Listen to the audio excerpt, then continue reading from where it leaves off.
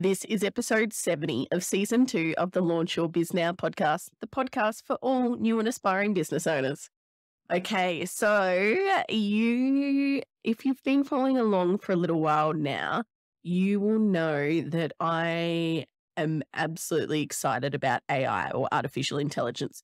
So I jumped on the AI train pretty early when ChatGPT, so pretty early in relative terms to um, this latest sort of craziness um, when ChatGPT came out at the end of 2022. And I knew when I first saw it then and tried it out when it was in its infancy, I thought, geez, this is going to be big. This is going to be an absolute game changer to our world. Like now that this is out, you know, there's been things that have happened in history that have absolutely changed the way that we do life and do business. You know, one thing you might compare it to is maybe, you know, when we used to use horse and cart or used to use horses for transport.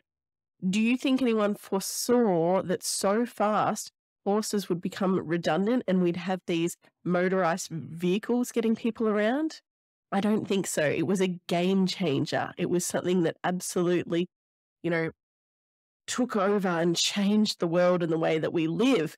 Um, same thing when the internet came out and with tech and computers and you know all of these things. Well, I think AI is this next shift, and you might have heard me say that I think the next five years in business is going to be, you know, thrown on its head. We are in for a wild ride. We're going to see more change in the next five years than I think we have seen in the last 10, 20, probably my whole professional career. Um, so I was at school when computers, in high school when computers started coming out uh, as mainstream and had dial up internet until I was in my 20s. Um, so we've seen a bit change there, but this is going to be a big shift. So you know, you, I've done a fair few episodes on this now where I've mentioned it and um, sort of introduce you to it. And you'll notice now, so the launches of my course is finished now. Um, and during launches or any sale or promotion or anything that you're doing in your business like that, it takes a lot of energy. It's really big. So I hadn't been able to really focus on this for the last month or so as much as I would like. But you'll notice now because there's going to be a theme of these um, podcast episodes coming out where I am focusing on this because I am diving in, I am embracing it, and I want to share my learnings with you guys as I am discovering it and trialing it in my business, in my life, and where you know where I think this is going, what's happening in the industry, all those sorts of things. Uh, just a disclaimer: I have got Harry, my ten month old, home with me today. He's just started childcare, but he is sick um, that wonderful thing when they're starting. So you might hear him in the background, and I was going to wait, but I'm too excited about this, and I just want to talk about this now while it's fresh in my brain. So hopefully that's not too disturbing for you. Um, okay, big topic for this uh, podcast ep- episode: Will I AI replace humans? Oh my god, maybe I shouldn't have done this. So huge topic. And I think it's something, you know, you've got early adopters when things come out where people like me that are embrace things. You've got people that are a bit more mainstream that wait until the early adopters try it out and let you know how they're using it and let you know that it's okay. And then those generalists sort of jump on board, which is where, you know, a lot of people sit. And, um, you know, a lot of the times I'm a generalist too. I don't, I don't know what it is with the AI thing that's made me jump on board so early, but um, I definitely saw this as a big potential. So, generalist, so I think a lot of people are jumping into it now. So, I think most of us, so they had more growth with ChatGPT in that company with user sign up than anything else in the world in companies. So, Twitter, Facebook, you know, any of the likes of these things, ChatGPT has more users than any of them. So, it just shows how fast this is happening and how fast it is growing. So, ChatGPT uses artificial intelligence to create content. So, this is a text based software, ChatGPT is. Um, they there is all sorts of AI tools. So, um, just an example, they used AI to teach a computer how to play chess. It took four hours for that AI program playing against itself to become the ch- best chess player in the world. So that's a bit scary. So in four hours, it can beat the world's best chess player, which has, you know, been playing that for their whole life. I would hate to know how many hours in four hours. So if you are in pretty much any industry right now, you mm. might be sitting there being a little bit concerned about what's going to happen with your job because if it can learn a strategic game like chess in four hours, how long until it can do taxes, write legal documents, you know, uh, or answer our customer support, create content? A lot of this stuff it's actually already doing, which is um, a little bit scary. But yeah, so it's coming and we can either embrace it and understand it and get on the front foot of this, or we can be swept and uh, potentially lose the battle against AI um, in your job and in your business. So, what do you want to be? So, what got me started on this? So, today I've been playing around with ChatGPT um, on the legal side of things. So, um, obviously, in the course, I help people set up businesses, and there's a big component of this that's legal. So, there's all of these areas um, that people normally need to get pay for advice and pay for you know, legal templates to get things set up in their business, like privacy policies and terms of agreements and, um, you know, contracts and any of these sorts of things, heads of agreements, if you're buying a business, contract of sale, if you're buying a business partnership agreement, if you are going in partnership with someone, all these things cost a lot of money. Now, I wanted to have a play for myself to see how AI goes at generating these. So I put in really simple one, first of all, is write me a privacy policy for my website for my online course business. Bang, it really had a better privacy policy than the template that I'd brought online for my privacy policy for the business, which is insane. So um, I'm now updating my privacy policy to a chat GPT privacy policy that they have generated, um, which is amazing. You know, privacy policy is pretty easy because it's a pretty generic sort of uh, policy or content um, that every single website needs to have. So if you don't have one, jump on ChatGPT, create one, and put it on your website. Um, then I tried my website terms of agreements for an online business. So I stipulated that, used that um, as my prompt to ask it to write a privacy, no, terms of agreements for a online course business for my website. Um, and it gave me great terms of agreement again. Again, better than the templated ones I had purchased for my business when I was getting started. So, for a new business getting started, amazing. You know, have a play. Obviously, there's a disclaimer, and as the business grows and as the business establishes, and depending on what sort of um, agreements you are getting it to write, there will be absolutely still a need for solicitors and personal advice. But hey, for any of this generic stuff that we can do, let's do it. So anyway, so that got me started on it. Then um, I was thinking about some of the different things. So um, Chat GPT 3 is what we're using now. Chat GPT 4 is in the works now. And it's going to have an updated library of information. So ChatGPT 3, I can't remember what the end date is, but it hasn't got the last couple of years of content um, in there because it was has the content up to the date it was created.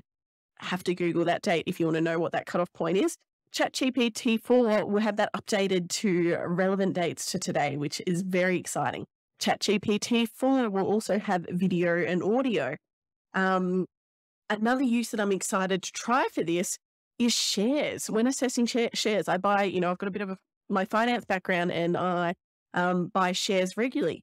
Like when I can use ChatGPT or any of these AI softwares to um, assess what shares the best performing based on what inputs I put in. Like, how cool is that for my investment journey? Like, just doing all of that research for me um, is amazing. Um, so all right, I'm back.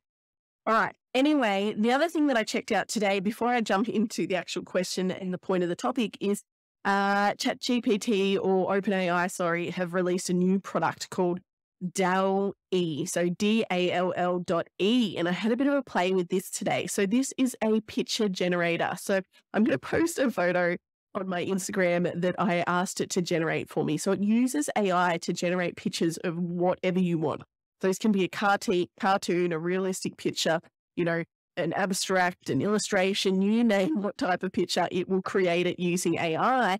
And so I've been having to play with that today. So if you've got a business that you need uh, graphics for or pictures or whatever it is, check out DALL-E. It is insane what it can do. So I was prompting it. I've got something I've been working on, which I'm, um, you know, is mums in business. So where I call us super mums in business.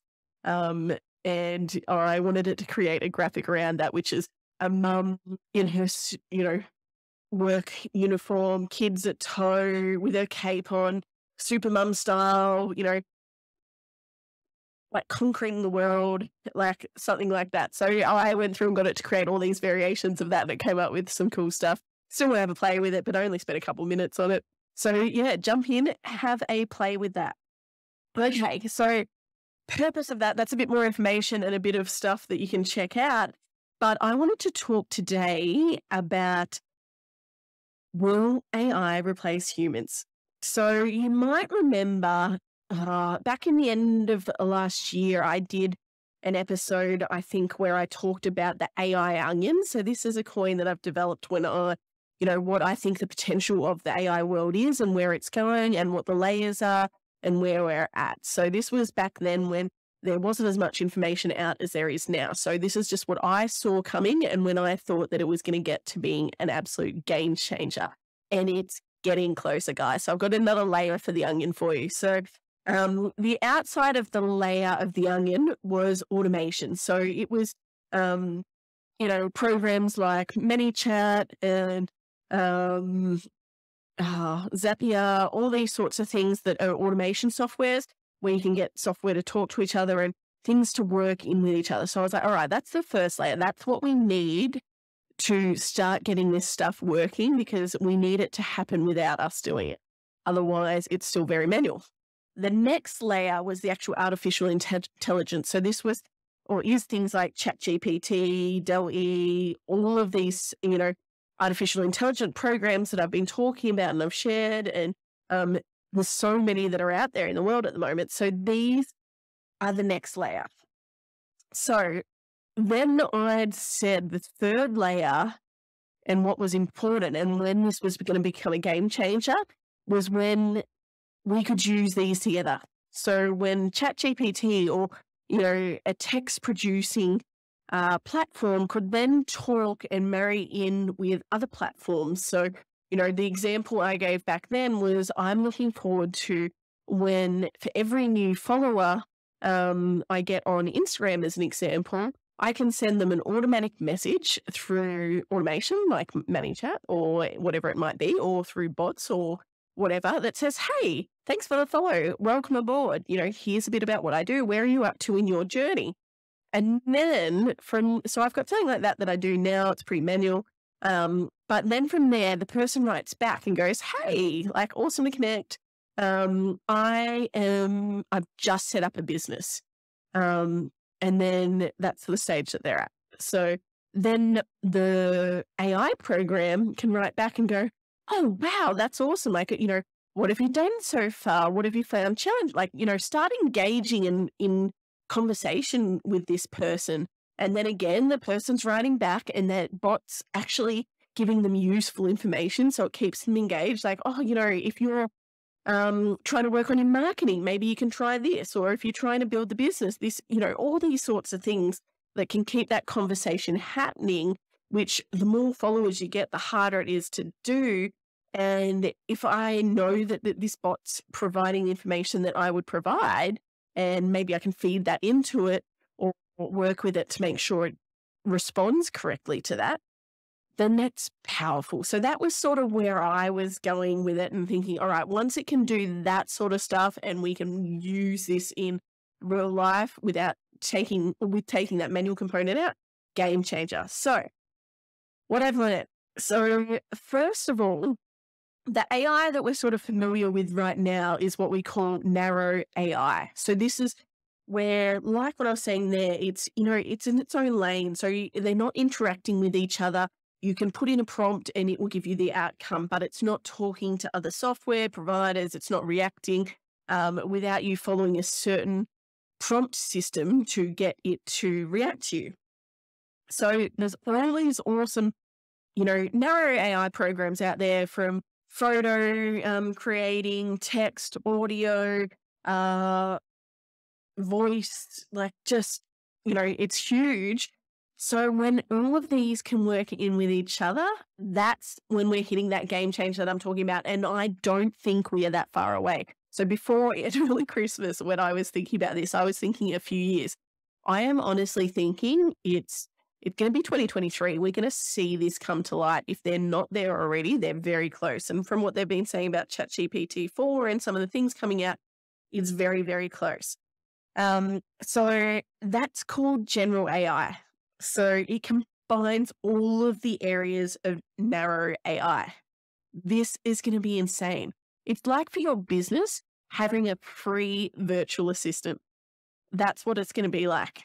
How amazing is this? Mind blowing. Also, think about this stuff. So you can incorporate now. You can uh, use ChatGPT in your software and your programs and things like that. You can get plugins, sort of thing. So if you've got any software that you can make better, you can add this feature in now. So you're using artificial intelligence in your business already. So think about how you could potentially use that and what that might look like. So that's a bit of a deep dive. So will our AI replace humans?